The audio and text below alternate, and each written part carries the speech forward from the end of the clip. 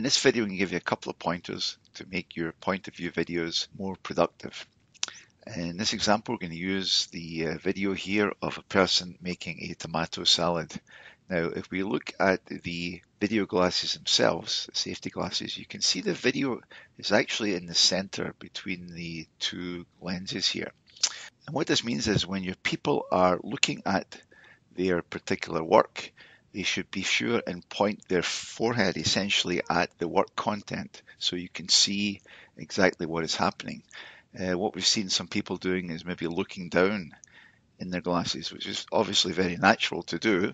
But when you want to get the point of view video here, you should ask them to point their forehead at the work content. Remember, they're only doing this for maybe one or two cycles to allow you to get the uh, picture for the training purposes or for your documentation purposes. It's not going to be a strain. So when they're ready to start, they're going to swipe their finger across the frame here and the LED inside here will show that the video is in progress and then they'll basically point their forehead at the work content and then proceed with the job here. We'll use this example here.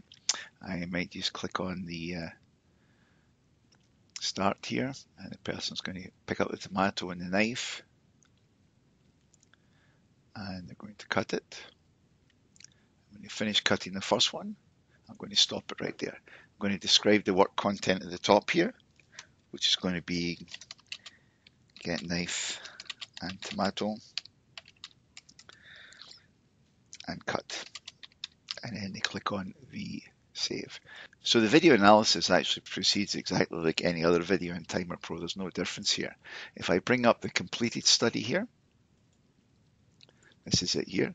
You can see I've done each of the individual steps. So here's the first one, get knife and tomato and cut, then get the next tomato. See now reaching for the next one. And he's cutting it up there and so on. So there's uh, four tomatoes to be cut. So everything here is going very well. The video is obviously capturing all of the work content. Now we're going to do the tomatoes into bowl here and you'll see what happened to the uh, operator here.